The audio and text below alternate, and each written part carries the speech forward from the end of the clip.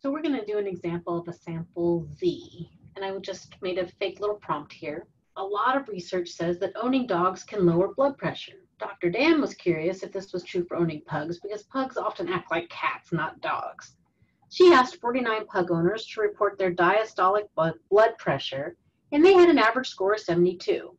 The average diastolic blood pressure is 75 with a standard deviation of 8.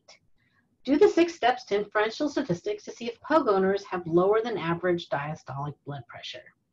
So we're going to go ahead and do these six steps. Let me just get that set up there. Okay. So my first step again is to do my research question.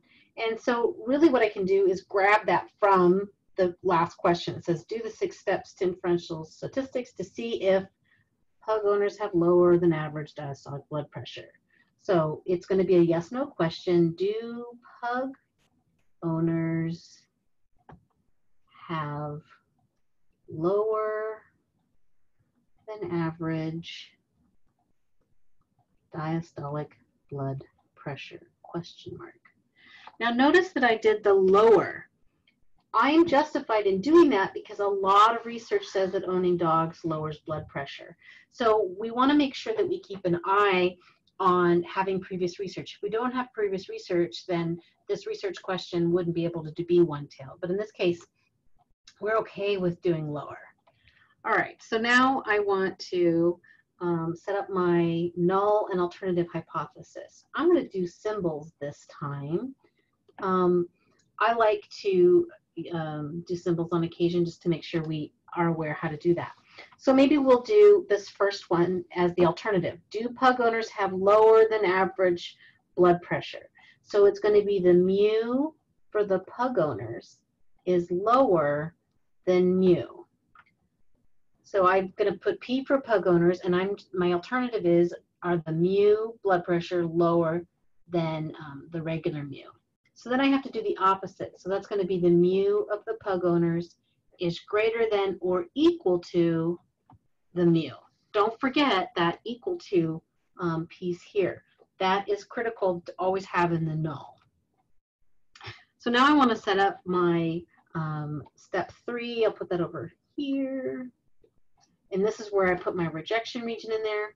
Now remember, this is one tail. This isn't two tail because I've used, and how I know that is because I've used the word lower here. So if this is two tailed, I'm going to make it, sorry, if this is one-tailed, I'm going to make it one-tailed, and it's on the lower end because I use the word lower. So this is going to be a negative 1.65, and I want to make sure that I'm clear that this is my rejection region.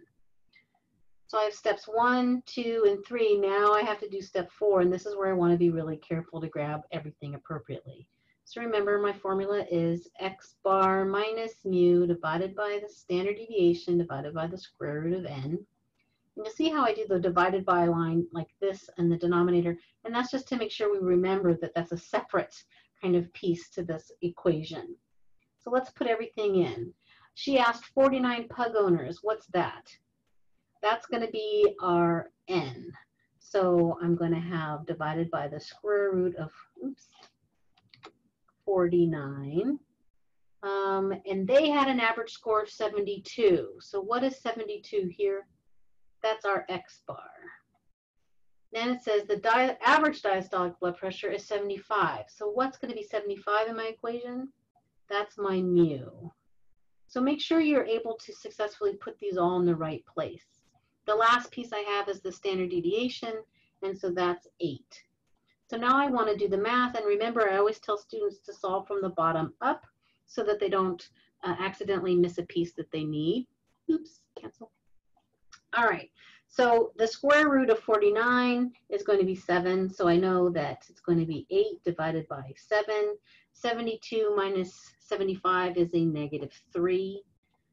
So I'm going to, in my trusty calculator, plug in 8 divided by 7, and that equals 1.14. I'm rounding, but that's okay, 1.14. And then, uh, oops, now I'm going to come to my calculator here and do my negative 3 divided by 1.14. What's happening here? Boom. Go away. Uh, paintbrush, go back. Okay, so this is a negative 3 And now when I put that in the calculator, I get a negative 2.6. I hit a button. 6.3. And so remember, we have to keep the negative sign. Even though students like to ignore those negative signs, we can't. So I'm going to go ahead and mark where that negative 2.63 would be. Here's 1.65, so negative 2.63 is going to be over here. And so that's in my rejection region. So for step five, I'm going to reject the null. Now, if I'm going to reject the null, I can even go over here and cross it off and go, hey, I reject you, null, you were wrong. So this is going to be the one that I'm going to call grandma about and make my conclusion. So for step six, I'm going to say that pug owners have lower diastolic blood pressure.